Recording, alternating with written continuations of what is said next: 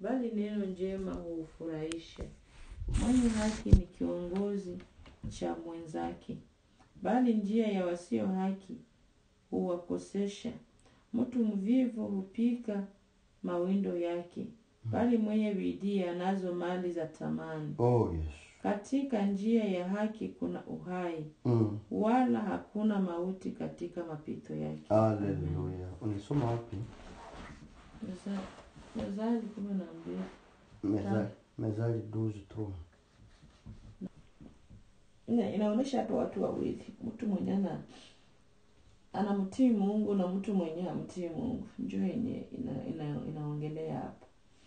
Hii mezali inatuambia kwamba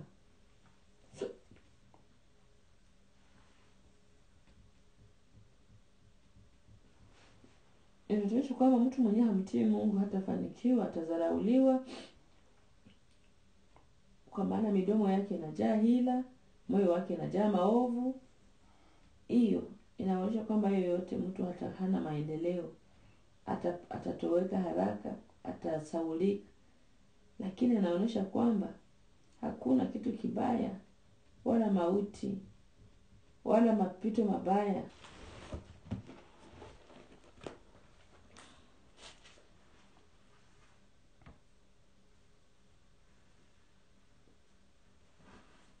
Soma mduzi. Juzi kuanzia tano mpaka kule kama ventuti kama ile mwisho tu yake.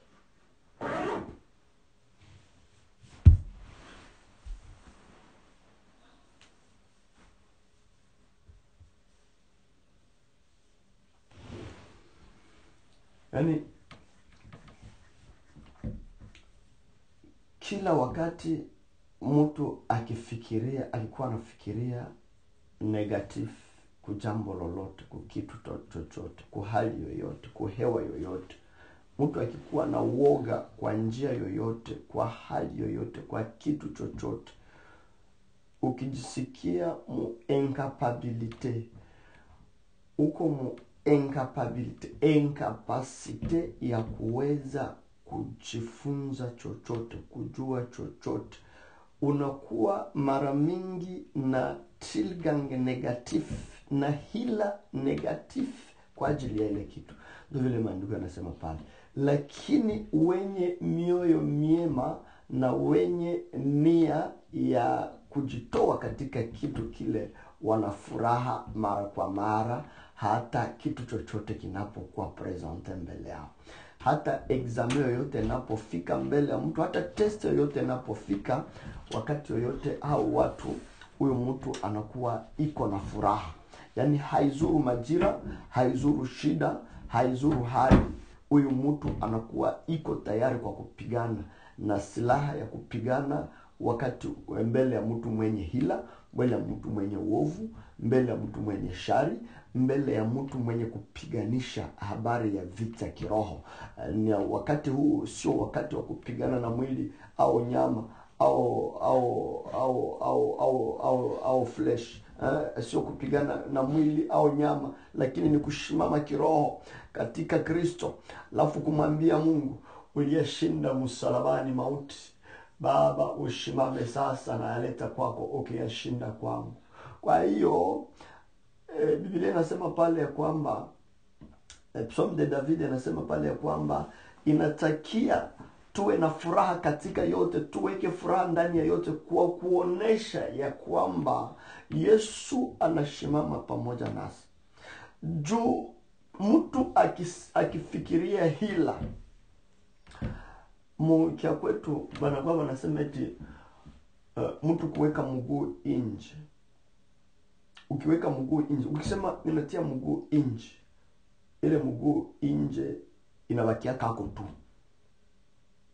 Wakati yoyote ukikuwa uko na esprit ya kujihuzulu unajisikia uh, na naenda na, na, na, na toka na hivi haviko vyangu na hii eh, eh, na nitajiendea kwetu na nitafanya hivi na hii hali mm, mm, na, na, na, na na mwii nyumba na nitajiendea katika kiwando fulani ile wa, ile hila ile ndio hila vile nasema mtu akikuwa kila mara anafikiria hila yani uovu huwa roho yake huwa una, inafikiria uovu mara kwa mara mbele ya test.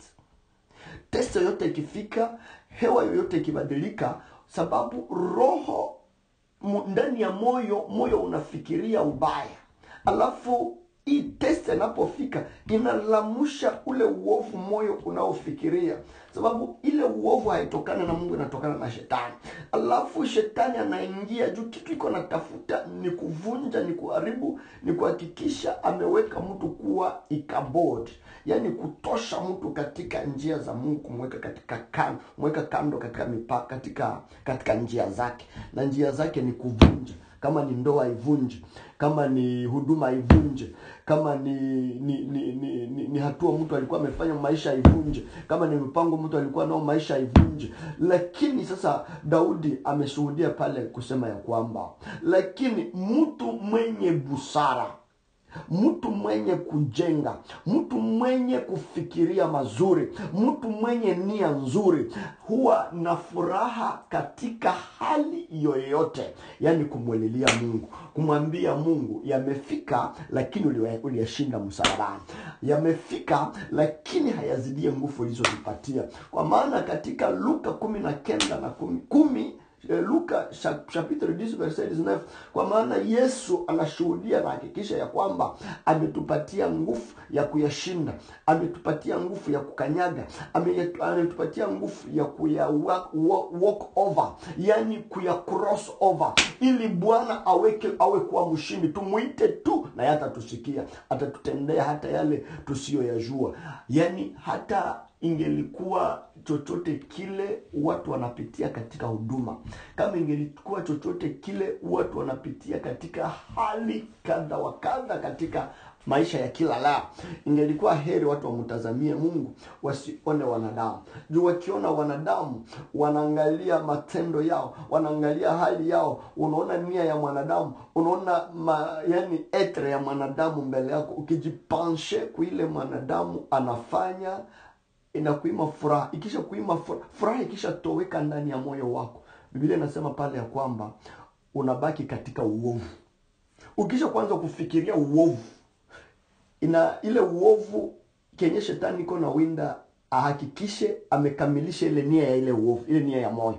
Nia ya moyo hii ubaya yenye labuda uko kama kama juu ya ile problem ulikuwa umepanga kusema ah, na, na hii kanisa mi naiache ulikuwa na- umepanga ah, na hii huduma mi naiacha. Kupanga ah, na hii hali hii hewa mi naitoka ndani. Nimesumbuka mara mingi nimesumbu, nimesumbushwa mara mingi nimeyapitia ya mara mingi haya yamejirepete mara mingi andayachia hapa. Deja ile uovu iko ndani yao asa yakifika tena hii tena ikifika ya hivi safini na vinaisha. Mgulu ikisha kuwa kuanza kufikiria nje. Njo ile ku njo ile ni pana mfano ya familia. Eh, mukilitiri yetu familia za vashi zinasema eti eh, mtu akianza akianza kupiga hatua ya mguu yake nje moja iko nje ingine iko ndani ujue ya kwamba mvua ikinyesha tu hii mguu itapigwa na mvua. Yaani hii mvua huu mtu atalowana tu ataishia tu ni nje. Yaani hata irudishe wakati iko na ipima anajaribu kuipima tia nje na ndani hii mguu itaishiaka tu nje. Yaani mvua itaipiga tu ikatale itike. Njo pale kwenye eh, daudi naye nasema juu ya kuf, uh, roho ya mtu kufikiria ubaya. Unaona ile ubaya ikisha kuwa iko ndani hiyo nia mbaya ikisha kuwa iko ndani ya roho. Nia ya kutoka nia ya kubeba mgulu moya nje. Mgulu moya iko nje mgulu ingine iko ndani. Hii nia ikisha kuwa iko ndani kwa hali yoyote unasema hii hii mpepeo ukipika tena hivi sefini kama ni kuroa uko na roa samaki ah mimi nitafunga vyangu. Mvua kikuya tena nafunga vyangu mimi naenda. Sababu nisha nishasumbuka muda mrefu nisha roa samaki muda mrefu. Sasa ah, sina tena cha kufanya. Ukisha kuwa na itilgange hivi biblia inasema ya kwamba ile njo ina, ile njo nia ya roho. Nia yako uliache sasa. Lakini sasa hii shida yenyewe natukia njo ile ubaya wa moyo. Ubaya wa moyo ukishafika njo ile mupepeo njo kibaya njo zoruba. Ikishafika zoruba kitu kibaya kikishafika kinafika kinagonga moyo wako. Ina, inatosha ile nia yenyeko ndani ya roho. Nia ya kutosha kuwa na nia na roho ya kuondoka. Hauko kwa masimu mengine hauko tena katika hauko tena ule mtu mwenyewe unashimama katika huduma. Maana furaha haiko ndani ya moyo wako hata kwa kujitoa hata kwa bidii. Juu kama furaha ingejibaki, mwimbaji anasema furaha